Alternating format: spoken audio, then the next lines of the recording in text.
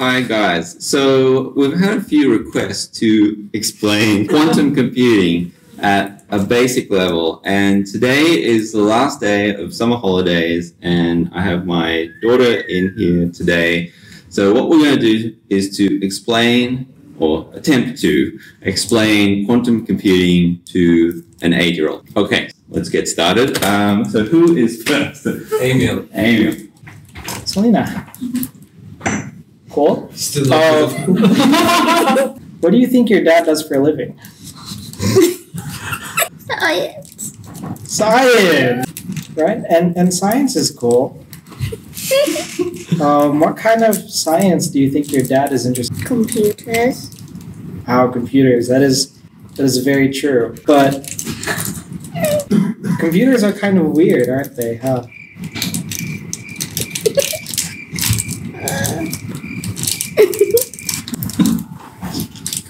Relax, relax, relax. Relax. So what is uh, quantum superposition? Imagine you have a ball, right? And you keep it under the table, for example. And then you go to another room and you come back. So the ball will still be in, under the table, right? Yes? But and but if you if, if you put it under the bed, for example, and you go to another room and you come back, the ball is still under the bed, right? Yes? It is always where you keep it, right? But but can you keep the ball under the table and when you go out the room and come back, will you be able to find under the bed under the table? Sorry, what I just said. Oh, when you go when you put it under the table and when you go out and come back, we will you be able to find it under the bed? We'll be able to do that? Yeah. So this is a square computer, ah. and a computer computes. So it will take something, it will give you something. So this is computer, so I write C here. And Lina, do you like cake? Yeah. Yes. So a computer could compute a cake. Shit, it looks like another computer. So let's. this is a cake. It's a birthday cake. Okay, it's candle here. To compute a cake, you need to give it egg, uh, maybe milk. What else do you need to compute a cake? Flower. Flour. Oh, sorry, that wasn't me. This is flour. and you put it in the computer and it will compute your cake okay? And sometimes if you want you might add chocolate. And then it will be a chocolate cake. But what happens if you compute a cake using a quantum computer? Now it's a quantum computer. And now it will compute you a quantum cake. So this cake might be all the possible cakes like there might be a probability there might be a chance that you might get chocolate cake but there might be a chance you don't get chocolate cake because this is all the possible cakes at the same time and i give up Um, That's a nice try. did that make sense? Lena, did it make sense? No. Oh, okay, all right. Quantum computing. Anything about quantum computing. So, what have they told you? You should have been listening.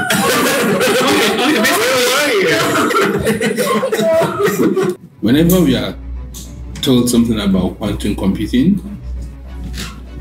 uh, there are two things that normally come to mind. Something they call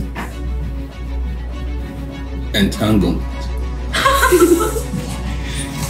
and uh, quantum linear superposition. Um, for now, we will just abandon the idea of entanglement Okay. and dwell and see if we can understand what we mean by quantum superposition.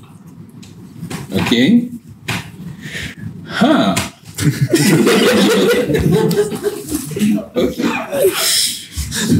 Superposition. Marek. Yes. So, what do you really understand by superposition? First of all, it's super. Second of all, it's a position. Yeah. It's a super position. Okay. So, um, Nothing useful I don't know. so um, I'm not helping you. when we say superposition, what we normally refer to, or what we mean, is that we have many different states that are equally probable. Okay? So now, uh, in quantum computing, the idea is that we can use these many states that are e- somehow equally probable to do computing. But how does that help? you don't. And, and Bube, imagine you could you could watch Sister Act one and Sister Act two at the same time. That's superposition. Yeah, that's superposition. But do you understand what I was saying at all? Maybe. Maybe. Uh, Uh, do you like computers? Yeah. Do you like playing computers? Yeah. So, um, so like, um, normally, um, do you store anything like store any files in your computers? Yeah. Okay. So do you know like uh, how computers store your files? In a classical computer, it store all the information using um, bits. So, it, and all normally bits have two states, one and zero, and they are certain. So like, uh, this kind of data you can see like they are certain. But for the um, quantum computer, like um, this kind of um, bit is called qubits, and they are not certain. So there are some different kind of possibilities. Computers are really hard to deal with sometimes, huh? Yeah. Right? Can you believe that your dad is working on ways to make them even harder? No. Wow.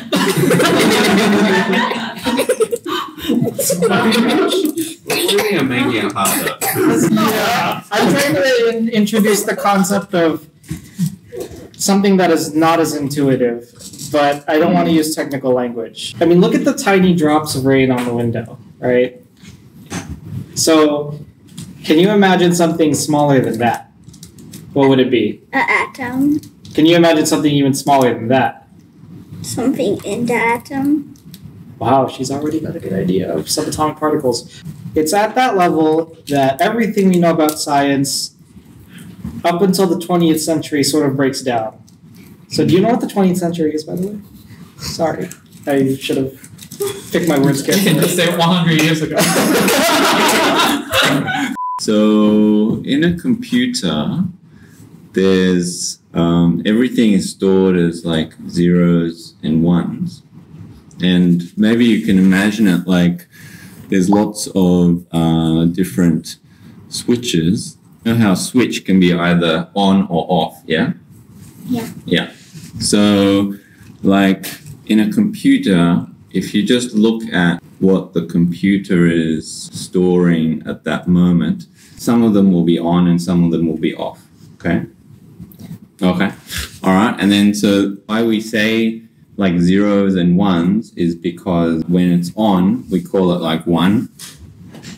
And then when it's off, we call it zero. So, for example, this one would be called like one, zero, zero, one, one, zero. Yeah? Yeah? yeah. Following me so far? Okay. So, um, so that's in a regular computer. And then when you run like a program, the kind of thing that you do is like you're basically like flipping all these switches. So whenever you run any kind of computer program like Among Us or Minecraft or anything like this, what you're actually doing is you're like flipping all these switches in some particular way. There's like some instructions that you have, and it tells you to like flip these switches in some order. So in a quantum computer, what people found is that like the switches don't have to be just like on or off. There's like all these in between states as well. So you can have something that's like half on, half off. This is what makes it different from a regular computer. What's what's the difference in the quantum computer and the normal computer? What's what does it do? Quantum computing relies on our ability to be able to do this, you know, what I've just explained to you, storing information on those um, many different states and seeing if we are able to, you know, use those information we've stored or access those information we've stored on those many different states to do something useful. Um, if we can, then the quantum computer works. I think I will just stop. All right. Um, I'm going to tell you that uh, why the switch can be in the middle.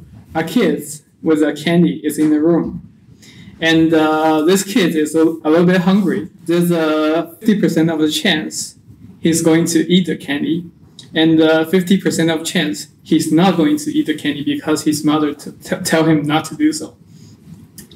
And uh, if you don't really open the door, uh, do you know that uh, the boy is ate the candy or not? Yeah, right. So if you don't open the door, you cannot really describe. You cannot really describe that uh, the boy has eat uh, has eaten it or not. The scientists describe the state like uh, the boy is between eating the candy and not eating the candy. Any questions about it? Well, Daddy said there's more than just the middle. Yeah. So, for example, if the boy have is more hungry than, than you think, so he has more chances to eat the candy than fifty percent, just like like a half of chance. Do you understand? so there is more options.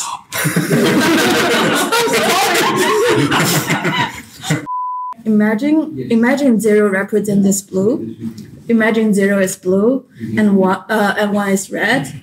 And then mm, do you paint? Do do you draw draw some like really cute drawings daily? So do you No. play? Mm, you don't play.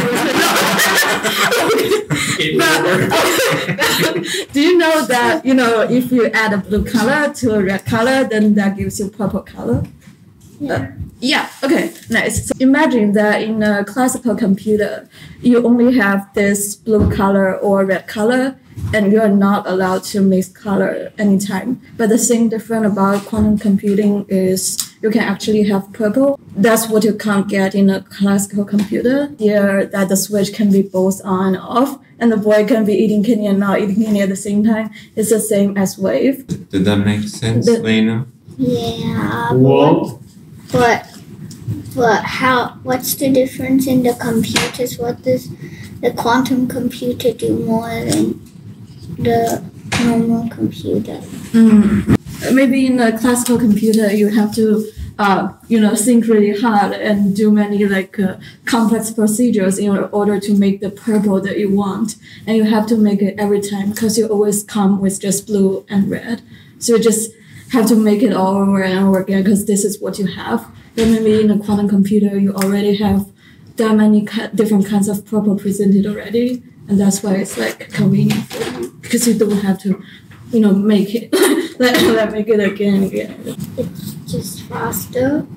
Yeah, it's faster. Oh yeah, yeah, yeah. I think we forgot to say that. Yeah, the whole point of the quantum computers is that it might be faster, Yeah, maybe. like way faster than a regular computer, but it's actually pretty tricky to make it faster because um, we're trying to rely on this whole idea that the like the switches, zeros and the ones, there's other things between them. So basically, you know, what happened was that uh, around about mm, 40 years ago, about 40 years ago, some people said, hmm, what if we make a new type of computer where the the bits are not just zeros and ones, and then they have this quantum property. And then so people like were thinking about it, and then at some point in about 1995, somebody discovered a particular algorithm, and they